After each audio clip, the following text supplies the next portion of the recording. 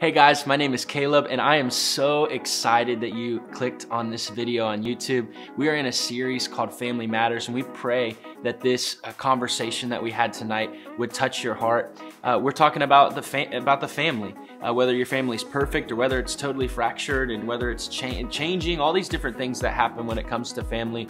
We believe that this conversation is very important for us to have. If you'd like to see some more content, you can go to Instagram and you can follow us at students underscore GFC. You'll find the times of our service and everything. We meet live uh, on Sundays from 6 to 8 p.m. and we would love for you to join us.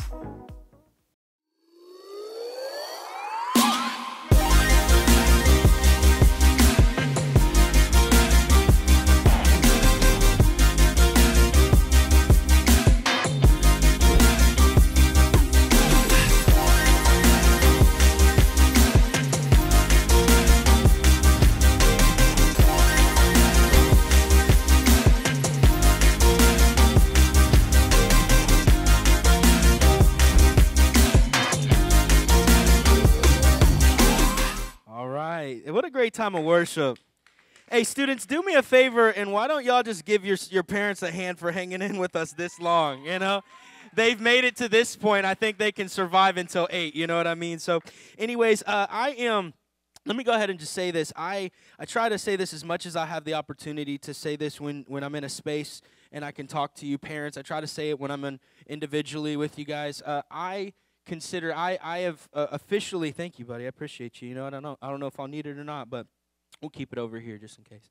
Um, but I I consider it one of the greatest joys of my life to get to do ministry uh, to your teenagers. Uh, I value the fact that you allow me uh, to pour me and my wife and our team uh, here at Grace Fellowship Church. We are just so grateful for the opportunity to pour into your teenagers and. Uh, it, it's just a moment for me of just sitting back there and just seeing homes worship together is just uh, it's such an incredible blessing um, to get to do what I do uh, every single weekend. And I I, uh, I was listening to a message, and I, I want to say this because just kind of uh, before I get into to tonight's the topic, we're starting a, a series called Family Matters. But uh, I was listening to a, um, a message by Pastor Johnny Hunt. Anybody heard, heard of Pastor Johnny Hunt?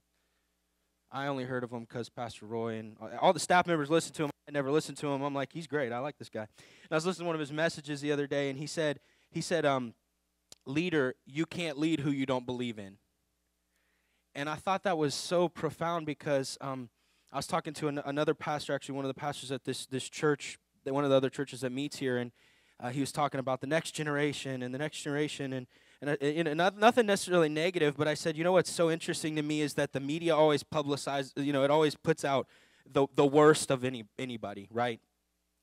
You know, you know that's what the media does. And I and I said, you know what, I, I, I think I can't watch the media when it comes to teenagers because my teenagers aren't like that. I believe in them to be world changers. Teenagers, I believe in you guys to change the world, to affect your schools, to be a difference maker, and to advance the gospel. And so I love what I get to do, and I'm excited for us to all be in the same space tonight, getting to worship together and getting to get and dive into God's Word. Before I get into uh, the topic matter that I have for tonight, we're starting a series called Family Matters, and we want to talk about the dynamic of family. And so I want you to uh, think about in your mind, and it's a rhetorical question, but like when you think of family, what comes to mind? Think about what comes what when when I say the word family, what automatically starts to roll as you think about family. I think about my mom and my dad. I think about my little sister Kaya. My little sister Kaya is great. I want to bring her here sometime so y'all can meet her, but I love her. She's great. Uh, but my little sister Kaya, I think of my Papa Wayne he's great too. He always gives me the just the great advice. My Papa Wayne's my grandpa, by the way. You know, everybody's got to have a nickname for their grandpa. Uh, but my Papa Wayne, I think of my Momo. I think uh, that's my grandma as well too. Okay, don't make fun of her. Uh, I love her. Okay. Um, uh, but anyway, so I think of, I think of uh, beach trips. We would always go to Myrtle Beach, and that was like kind of like our family tradition. My family was big on family traditions, so I would think of those family traditions. I'd think of uh, Christmas traveling, and I would think of all of these uh, different things. And and, and we all, this is I say all that to say we all have a little bit of a different perspective when it comes to family. Like there's a different thing that comes to mind. Maybe you think uh, of a mom and a dad.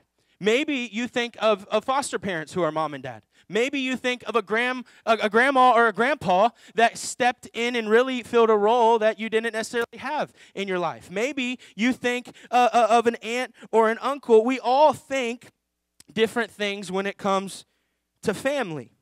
And, and I kind of thought about this a little bit uh, when it comes to family. This is the reality, this is the truth when it comes to family. Uh, Matt, you could throw it up on the screen. Every family is unique. Every family is unique. We're not all the same. We all have a different different makeup. We're all a little bit different. And here's another truth about family. We're all unique. The family is unique. Family's also complicated. Family can be chaotic. Family can be family can be overwhelming. Family can be filled with uh, awesome moments and it can also feel like it's filled with awful moments. Family can be very complicated and overwhelming. You know what I thought about too when it comes to family? You have these awesome moments, and what I mean by awesome moments are these these are like the highest of the highs when it comes to your like the, the best moments. You have these awesome moments, but then you also have these kind of some of some awful moments that you uh, that maybe you think of that are maybe the things that you they're they're kind of the low moments. And as I was kind of reflecting at that, my personal experience is that all of the awesome moments seemed like they didn't last long enough, and all of the off, awful ones seemed like they stayed way too long right? And it doesn't seem like we're in the middle very much. And family is unique, it's complicated, but it's a great thing. And this is what I also thought about when it comes to family. It's really interesting. What you do is you you take a family and then you put them all in a box. Some people have a bigger box than others. Some people have a smaller box. You call it a house. You know what I'm saying?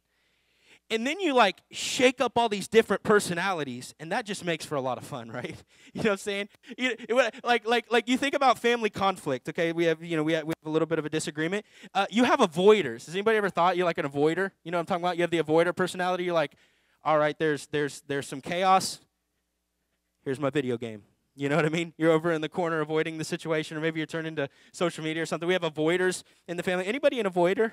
You an avoider? Okay, we have some avoiders, and then we have uh, we have the the great the great people who are the mediators. They're like the family referee. They put on like the it's like mom is mad at brother because brother didn't take out the trash. Therefore, middle sibling steps in and says, "Let me let me diffuse everything." Then you have the instigator. So the mediator is putting on the referee jersey, trying to keep some peace in the home, and then you have the instigator who comes and says, "Let me just drop a flame right there." You know what I mean? You have the mediator who's trying to blow the candle out of chaos, but then you have the instigator who's like, no, I'm going to burn the whole house down. Then you have you have unique kids that are all of them, and I don't understand how that works. But you have comedians. You have the comedian, Greg. you have the comedian. You know, you have the com- you're the comedian in the family, right? Like you're the funny you're the funny guy or the you're the funny whatever right? Like you're, you're trying to uh, make a lighthearted situation, and then sometimes you end up cracking a joke that gets you grounded for a month, and you're like, man, I was just trying to be funny, you know? We have the smart people. Then we have the rule followers.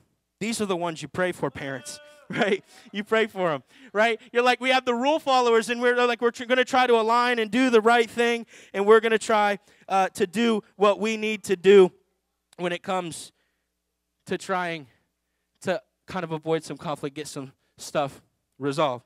Now, I um want to dive into a conversation tonight out of John chapter 13. If you would turn with me to John chapter 13. And I want to say something, parents. I'm gonna there's there's maybe a couple times in this message I'll point to parents, and there's sometimes I'll point to students, and uh, and and we're gonna be in John chapter 13. And we'll look at that for a minute. It's not a text of scripture that you probably haven't heard before, but I'm hoping that as we uh, talk about family, it'll really touch your heart. And teenagers, what do we do? Tell our parents what we do. We take notes. So take some notes. Yes. Great leaders, the greatest leaders are the greatest note takers because we retain significantly more when we write things down. I want to say something to you, parents, though, because I was thinking about this on my car ride uh, home from Columbus this weekend.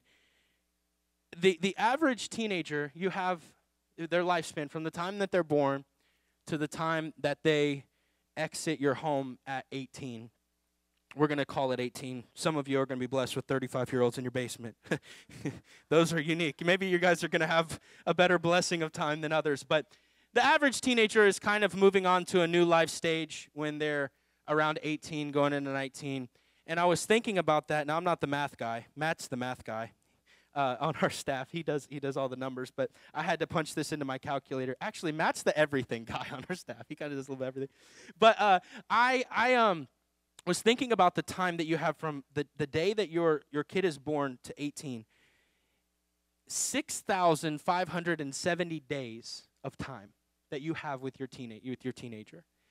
Now, if you think about that, now the reality is is um, you don't have that much longer left. For some of you, they're, they're 11, 12, and that's, that number's cut down to a couple thousand days that you have with your teenager before the relationship starts to look a little bit different. They graduate, and you still have the opportunity to invest in them.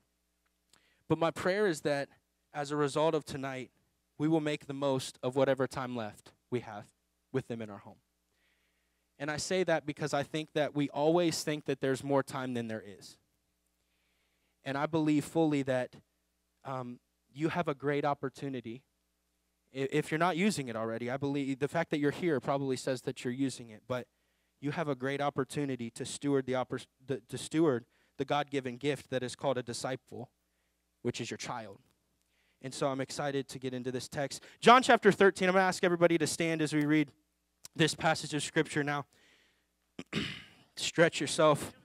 Yeah, we're going to stretch ourselves, crack your back if you need to. If your neighbor's falling asleep, don't slap them because of COVID, but it's all good. John chapter 13. And I'm going to step over here so I can just read it straight off the screen. Matt, it's all good.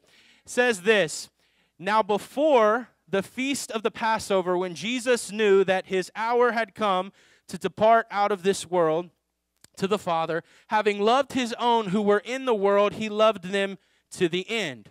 During supper, when the devil had already put into the heart of Judas the Iscariot, Simon's son, to betray him, Jesus, knowing that the Father had given all things into his hands and that he had come from God and was going back to God, rose from supper and he laid aside his outer garments and taking a towel, tied it around his waist, and then he poured water into a basin and began to wash the disciples' feet and to wipe them with the towel that was wrapped around him. Next slide. He came to Simon Peter, who said to him, Lord, do you wash my feet? And Jesus answered him, What I am doing you do not understand now, but afterward you will understand.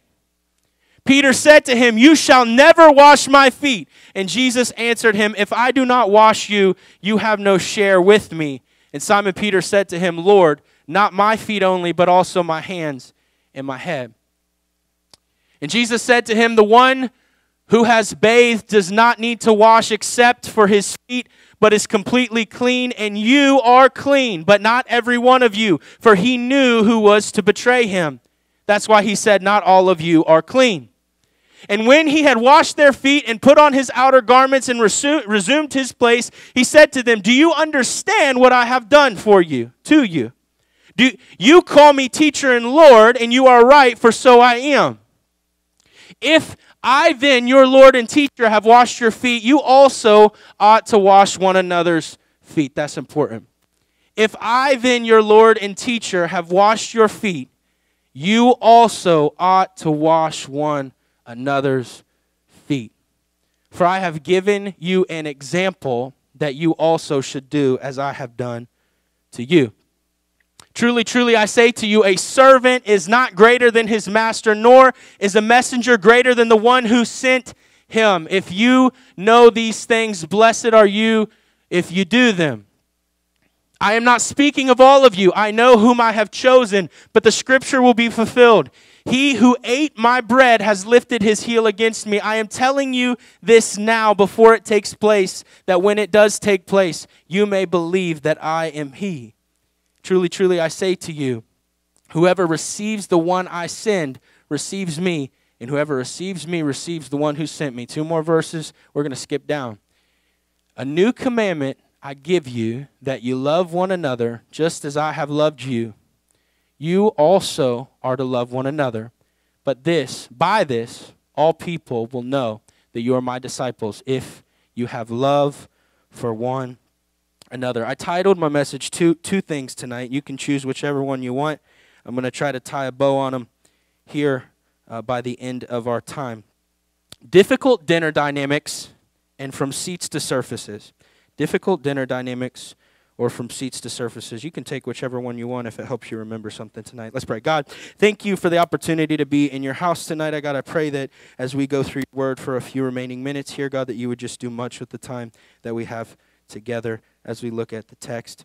God, would you speak to our hearts right where we're at, right in the middle of wherever our family is currently struggling, any difficulties that may be on the surface, or maybe even the difficulties that would be up ahead, maybe even the things that we don't know are happening but maybe we need to be exposed to in our hearts. God, I pray that you would do something supernatural in this space. God, I pray that homes would be healthier, that family dynamics would look different, and God, that we would walk out of this place not just hearing your word and doing nothing about it, but hearing your word and actively pursuing doing something uh, with it. We pray all these things in the unmatched name of Jesus Christ. And everybody said, Amen, amen. You guys can sit down. I won't make you sit stand for any longer than that. John chapter 13, we enter into this text where we're sitting at the scene of a dinner. Everybody say dinner. We're at a scene of a dinner and we're at a meal with Jesus. Jesus is sitting with 12 of his closest friends. I want to point this out before we kind of go a little bit further into the text. You have to understand that these friends for Jesus, uh, they were more like family the, these, these friends, these disciples, he had spent now three years of his life eating with them, laughing with them, uh, correcting them, encouraging them, affirming them, teaching alongside them, healing in front of them really imparting everything that God had given to him, everything that uh, God had revealed to everything, uh, everything about Jesus, he's imparted into these disciples. You have to understand this as they've traveled, these friends feel more like family. They feel closer than just friends, than just disciples, and they're going to take the church when Jesus leaves. But here's the thing you have to understand the scene of this dinner that we're in the scene of the dinner that we're in, Jesus is sitting at the table, and this is the final meal that he is going to have with these friends that he has uh, been so close to that are more like family than friends. And, and, and, you have to try to put your, your, your, your envision sitting at this dinner table where Jesus is with his disciples who feel more like family than just friends. They are very, very close and he's the only one who knows this is the last meal that we're going to eat together. Jesus is the only one who knows this is the last bite that I'm going to take with my brothers. He already knows that uh, Judas has been, it's been uh, uh kind of revealed to, it, Satan has already put upon Judas that he's going to betray him, all of this stuff that happened. And Jesus is the only one who is sitting at the table that knows this is the last meal in which we're going to have together. Jesus is the only one. Think about how complicated it would be to sit at a table and you know this is the last time I'm going to have a conversation with Peter over a bite to eat. I kind of was trying to think, like, what, what is Jesus thinking in this moment? I'm sure he's kind of looking at a guy like Peter and thinking, man, three years ago when I picked that guy up off the side of the ocean, he was fishing and I was going to help him, draw him along because he had a bigger purpose. You think about Matthew, I picked him up while he was trying to take people's money. John, that guy, he just thinks he's the best out of all of us, doesn't he? He does, because he's the, I'm the one who Jesus loved. He's the one who actually wrote this gospel. And I can imagine what he's thinking. It must have been very complicated to know, though, that I'm the only one who knows this is the final bite that we're going to take together. Imagine if you were sitting with your family and you're the only one who knew this is the last time we're going to eat together. How difficult that may be. And then Jesus, what he does is he, he, he wants to give one final lesson, so to speak. Now, it's not that Jesus doesn't give a lesson while he's on the cross in the fact that he says, Father, forgive them, for they know not what they do. It's not that he didn't teach them something uh, before he sends to heaven after this moment, but it's kind of like the last lesson that he can give them across the table. They're closer than family, and he knows that his time is about to end. And so, what does Jesus do? Jesus does this act where he moves from his seat at the table to the surface of the floor. and he gets he takes off his outer garment, he fills a basin or a bowl with water, and he begins to wash their feet. Now, I need you to that sounds nasty, right? right? Like washing their feet. I remember I was thinking about this. Like think about your siblings like athletic shoes, kids. You're like, oh, it's nasty, right? I remember one time my shoes smelled so bad. I accident, my mom wouldn't let me bring my shoes into the house, just so you know, it, because it was that bad. But uh, there was one time I brought them in and she didn't know they were kind of tucked under a table or something, and she came down literally thinking that like something had died. like the next morning, it was it was tough. But think about how awkward and nasty this would be to wash someone's feet. But you may think that it's awkward in this moment, but uh, it's really way more awkward for the disciples because uh, it, it's not awkward because it's nasty, it's awkward because Jesus is doing it. You see, Jesus is the teacher. Jesus is the rabbi. Jesus is the leader of the group. He's not the one who moves from his seat to serve somebody else. He's the one who stays in his seat and gets served by someone else. Society said that Jesus wasn't the one who would get out of his seat and wash somebody else's feet. The host would provide that for Jesus. He's the rabbi, he's the teacher, he's the leader. Think about how nasty feet were. Like I just described how gross mine were, but they were literally walking on dirt roads, dusty, muddy roads. They were walking in animal poop. It's, it's not a job that anyone desired. Therefore, it would not be for the one who is the leader. It would not be for the one who is the rabbi. It would not be for the one who is the teacher. So it's awkward for them because it's not Jesus' job. But if you know anything about Jesus, what Jesus does is he constantly flips the standards of society. He says, You, you, you have heard it said this way, but I say it this way. You have seen it done this way, but I'm going to show you to do it this way. And so the, the disciples don't know how to respond to the fact that Jesus is, has moved from the seat of being served to the surface or the floor of serving them. It's super awkward. It's different than the custom. He's flipping something that they had seen done differently, and he's doing something else with it. He moved from the seat of being served to the surface of serving somebody else. This is difficult dinner dynamics. This is an awkward situation. Peter doesn't even want to receive it at first. And can I just ask you something? I just want to ask you something.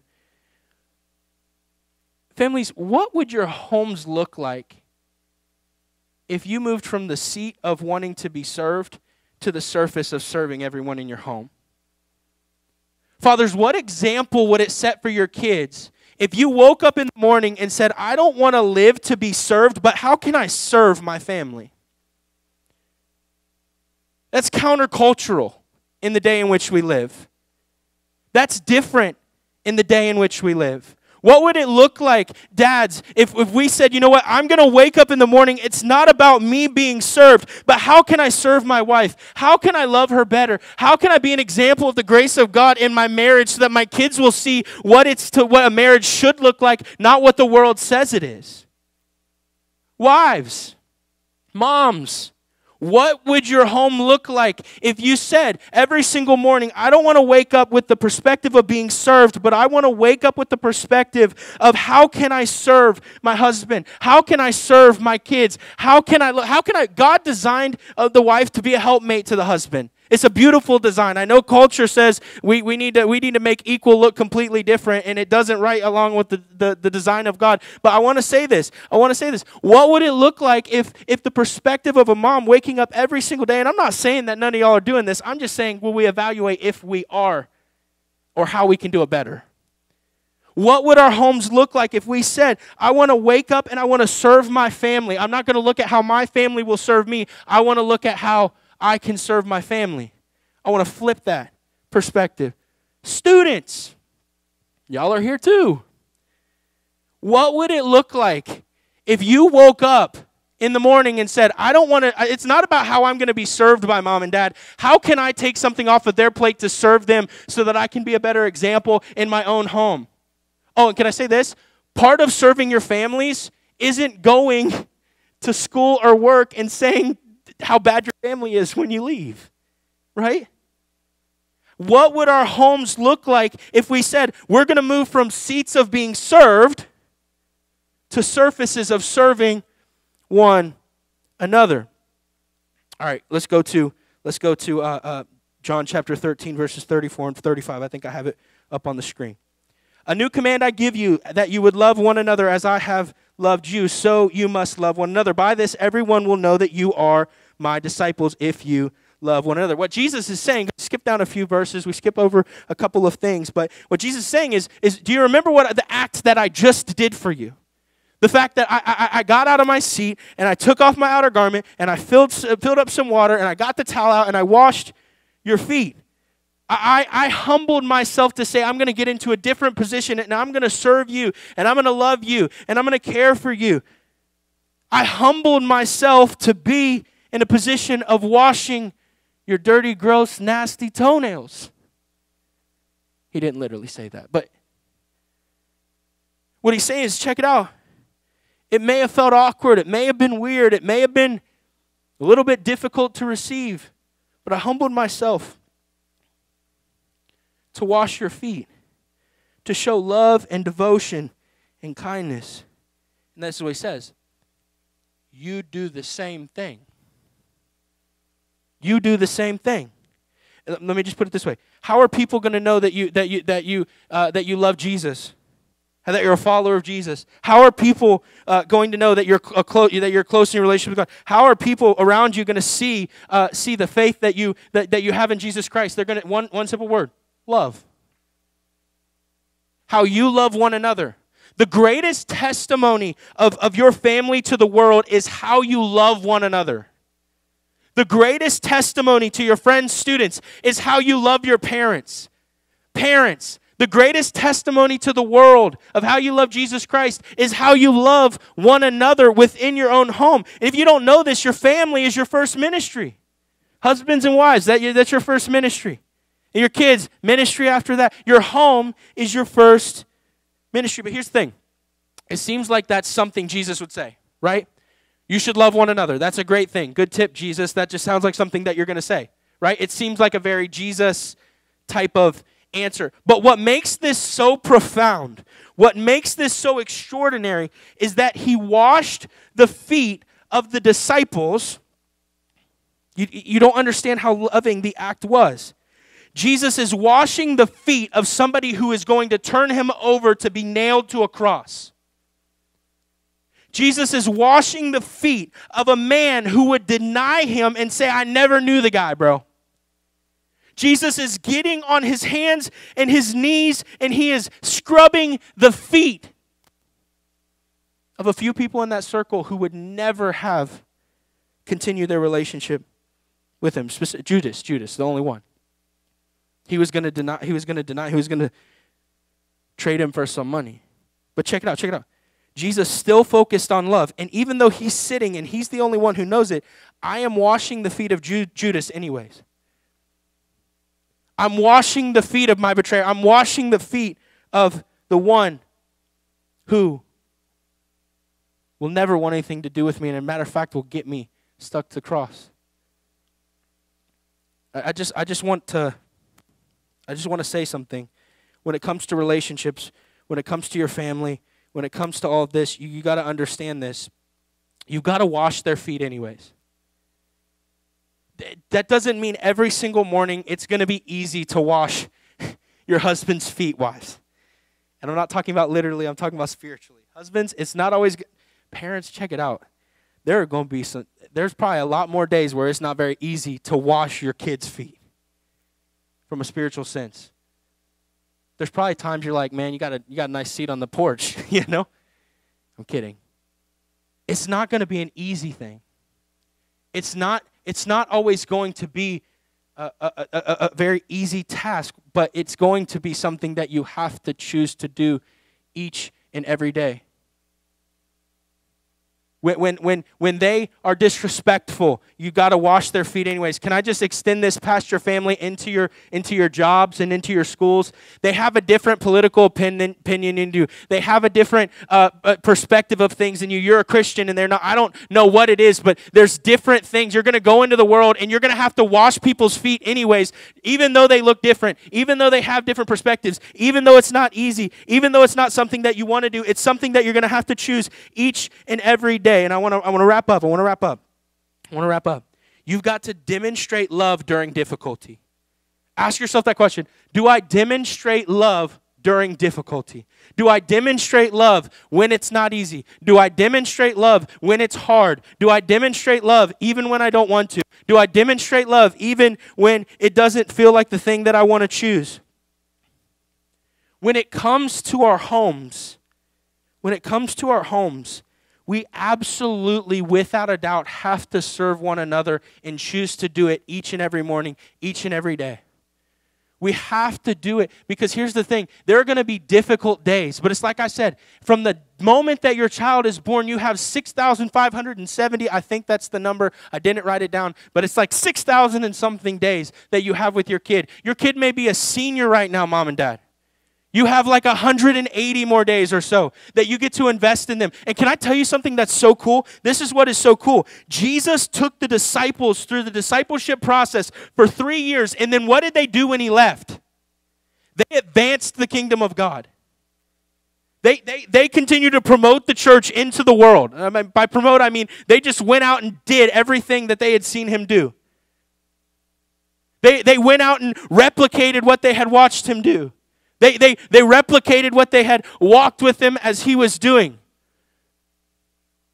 I just want to ask you this why couldn't you do the exact same? Your kid can go and win an entire college if we disciple him effectively if we if we love them effectively. And i'm not saying that we're not doing it. I'm just saying let's ask the question how can i be more effective in advancing the gospel in the life of my child in the life of my family in the life that i have the opportunity of a lifetime to pour in to my kid. Can, can i just i'm just i'm about to i'm about to be done. Part of that is making tough decisions right Part of that is making tough decisions. Say one of the greatest things that could serve my kid is to say, I'm gonna, I'm gonna, I'm gonna help make them reprioritize their schedule because they're not gonna choose the things that are gonna be good for them. I'm gonna have to choose some things that they wouldn't choose for themselves. Part of a part of discipling and part of that process is is is making some of the difficult calls. Because can I can I tell you part of leadership, part of leadership is taking someone where they they need to end up, not where they want to go. As a teenager, can I, I'm just going to give some testimony here before I close. As a teenager, where I wanted to go was a terrible place for me. it was just it was it was a lot it was it would have been a lot of stupid decisions. Where I wanted to go was not a good direction. And you know what? For 6 years of my life, teens listen to this. For 6 years of my life, I told my dad I hated him and that he, he, was, he was my stepdad, by the way. That I hated him and that I did not want him to tell me what to do because he was not my dad. But you want to know what he did? He washed my feet, anyways. I told him I hated him. I told him I didn't love him, that I didn't want anything to do with him. He's my stepdad. And it was all because he was pushing me in a direction that I didn't want to go, but he knew I needed to end up in a different one. I say all of that to say there are some decisions as a parent that you're going to have to make that are going to reorient the priorities of your teenager because it's going to get them in a direction they need to go, not the one that they would choose for themselves. Teenagers, let me just let me just say this to you. There are some times that you get really mad at your parents because they make a decision that is you you feel like it's just man that's just so bad. My, why won't my mom let me have TikTok? Why won't dad let me have Instagram? Why won't they let me go to that party that's unsupervised? And you're like, man, my parents are just so bad. My friends' parents don't do that. My friends, my, cross your right? Stomp up to your room or whatever. And you're mad because you're like, mom and dad are parenting me differently, but my parents, my, my friends' parents are so cool. They let them go do this. They let them talk like this. They let them watch this. They let them participate in this. And can I, can I just be honest? You want to know what that ends up? It ends up that that teenager goes in a direction that they do not need to get into, and it's years of trying to recycle and get back into a different position, a completely different place, because there wasn't guidance, because there wasn't firm direction, because parents were trying to be friends rather than trying to be parents. And so sometimes you get mad at mom and dad because they say, no, you can't have this, or no, you can't do this. But really, you should thank God that they said, no, you can't have this, and no, you can't do this. No, you can't go to that. The same, the same things I wanted to go participate in with some of those friends. Those friends are so far from God, it's, it's, it's, it's, it's wild. I say all of that to say, I'm trying to weave this back to my point family's complicated and it's difficult and it's beautiful and it's great and it's awesome and it's rewarding. But we have to wake up each and every day and say, How can I move from the seat of wanting to be served and move to the surface, the floor of how do I serve my mom and dad? How do I serve my husband or my wife? How do I serve my kids? How do I serve my in laws? oh.